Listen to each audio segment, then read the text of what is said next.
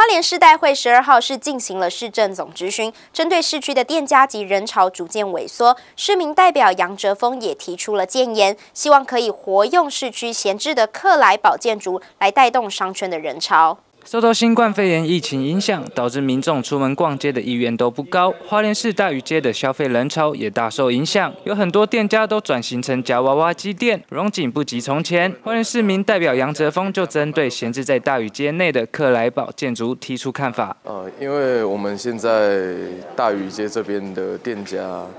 生意真的都非常的不好。那大家如果有经过的话，也可以看到，我们现在一家一家的店全部都变成夹娃娃机。那剩下的都是卖衣服的啊，那些或者是他们自己家里就住在那边，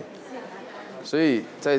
那个店家生意这么不好的情况之下，克莱堡这个案件结束，让大家好像看到一个转机的感觉，所以大家非常的关注克莱堡未来的规划，所以我们今天来咨询这个，是希望能够让民众了解，也让我们代表会更加了解我们克莱堡未来的规划是什么。还有我们中间的遇到的困难是什么？因为我们现在目前遇到最大困难就是它是停车场用地，它只能做停车场使用。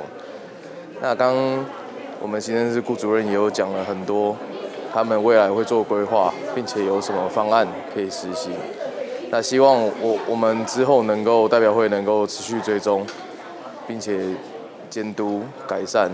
那希望能够活化这边的商圈，并且振兴这边的经济。花莲市公所行政室主任顾颖群表示，虽然闲置低度使用的公共设施可以申请临时使用，而且不会受到地目限制，但克莱堡建筑年久失修，必须要斥资六千万的庞大经费才能恢复使用。目前已经朝向公共服务据点的方向着手规划，有机会打造成客家文化产业发展中心，提供展演空间及文创商品销售，希望借此吸引人潮驻足，也提升商圈买气。记者徐立琴，花莲市报道。